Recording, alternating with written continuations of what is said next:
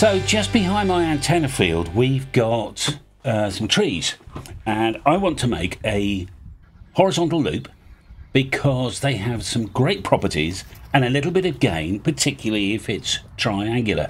Now, a horizontal loop displays mm, 150, 200 ohms horizontal now, right?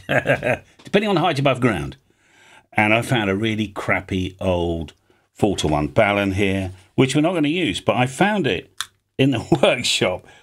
Maybe we should take it apart one day, but it sounds a bit crunchy. But if you remember when Mike was up last year, we made a 4 to 1 balun. It was a high power one. And uh, so I'm going to be using that as the balun. Now, why does a horizontal triangular loop have some interesting properties? I like them because they're multi-band, all right?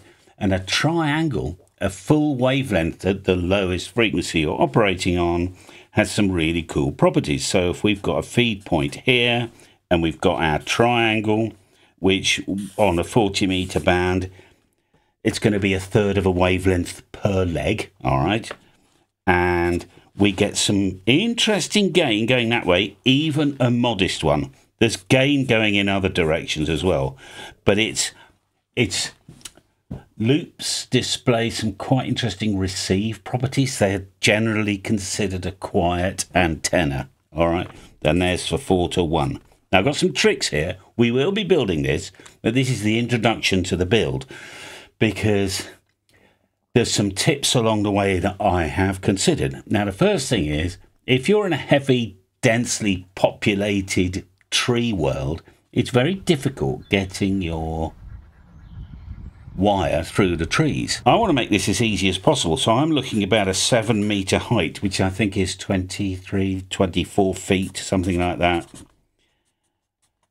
And I think what we'll use, I'll just use either one of those little mini catapults. I don't want the thing going forever though, because I want it horizontal. I don't want it going up and then back down.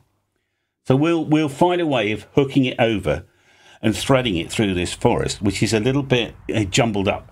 It is behind the antenna field, you know, where I play with Django and all that sort of stuff. Most of the time, remember, the antenna field is the dog field, okay? Because the radials for that big vertical are pinned out on the floor. In fact, you might be able to see on this shot a camera. Now, that little Reolink camera, I'm live streaming right now, actually, as a little bit of a test. Because we get blue tits and squirrels and all sorts of things and I like to sit here doing my email in the morning before I go to the factory. I just like to get an idea of what's going on. I could just dial in remotely to my PC, but yesterday I just started live streaming this. At night it's a bit dark, but early in the morning it's quite interesting because uh, the light changes very slightly and you can see the lambs and everything. Anyway, enough of that. Let's go back to where we're going to go. Right, so why interesting properties? So apart from the fact, remember, a dipole resonates on every other harmonic, if you like.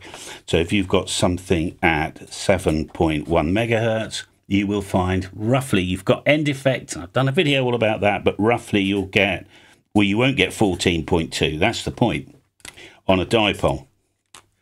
But you'll get 21 point, I don't know, 3 or something, and, and onwards. Every other harmonic. Whereas a loop gives you the intermediates as well. I don't know why. Right, it's all about the bananas. Okay. I've got some tricks I'm going to discuss with you in a minute, but let's first of all look at these very interesting properties.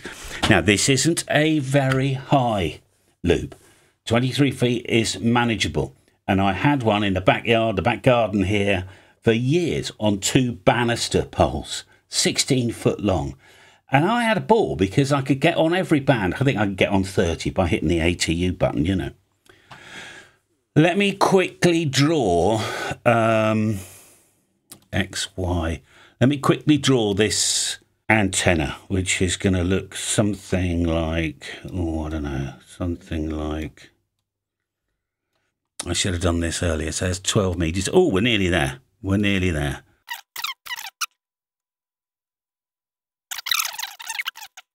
So I'm not worried about the impedance. We know that 4 to 1 balun is going to work. What I'm uh, interested in is the far field plot. Where is our RF going? And as I thought, it's just looking like a really nice bubble of RF like this. So good. So that's fine. So for daytime work, I'll be able to have a ball with that. Blasting out on 40 metres, because I quite like my daytime 40. You know, it's, there's no DX during the day. There is early morning and late at night, but not during the day so much. So that's fine. I talked to you about these interesting properties. So if we go to 14 point, I don't know where, we would have to tinker with it in the field. Here we are. Look, the impedance has gone up now, 272. So we would need the 4 to 1 balun. But that doesn't affect the far field plot. All right, let's have a look at the far field plot. Now, can you see a little bit of fun and games starting to happen? You see how opposite the feed point, there's a little bit of gain. That doesn't need to be a lot, but just a little bit is good fun. Big triangles and high triangles, they develop a huge amount of gain. But if you remember, I like to benchmark things at about five degrees off the horizon because that's hard to achieve and I'm just interested to know how much gain are we getting on 20 metres compared to a stock vertical. I'm getting minus 6.6, so I'm 1 dB off, one and uh, yeah, about 1 dB less on this than a straight vertical. Hello. But on receive, it might be very nice, okay? So that's on 14. Now if we go to 21, 0.3, again, uh, 100 ohms now different uh, frequencies change change impedance slightly. That's why 4 to 1 balun kind of works on average across them all. But anyway, we can see now that the gain pancakes down a bit. Look at this, nice.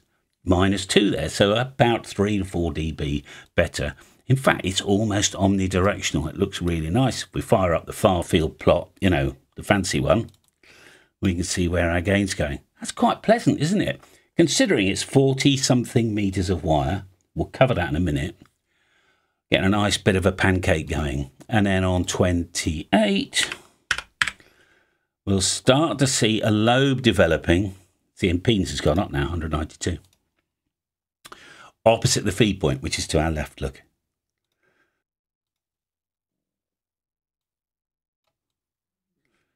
See it there, just a bit of gain over here. So I want to face mine to America because I like talking to my American friends. And if we do the elevation at five degrees off the horizon and have a look there, it says 1.4.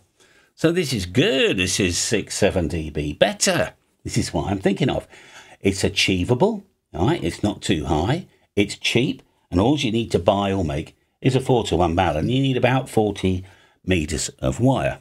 By the way, if this is a lot higher and a lot bigger, right? Really interesting things start happening. 50 ish megahertz, we may get a tune, I don't know. Yeah, it's a bit bit out, but uh, you'll oops, you'll see what happens when we go to the far field plot. See this lobe developing over here. Interesting, isn't it? So a big loop, like a 160 meter loop at 18, 20 meters, 60 foot. You get this on 20 meters, by the way. Fantastic. Anyway, Let's have a look at construction because I want to use the Kevlar cord wire. And Kevlar cord wire is difficult to join because once you cut the strands of the Kevlar, you either got to put two egg connectors together. You know what I mean? Oh, it becomes a nightmare. So I'm going to zoom into this little bit here. Just make sure I'm recording. I am. So what I'm going to do is I'm going to come along and put a thimble thimble is some words just sound funny when you say it you know what i mean a thimble so how are we going to put a thimble so just like a doublet has a thimble all right and i made a video about that so you'll know what i mean so the thimble is kind of that shape isn't it so we'll go around here down a bit and then i'm going to droop to one of these because I'll put my 4 to 1 balun here and the same the other side. Okay, 4 to 1 there. And then some paracord or similar from here to here.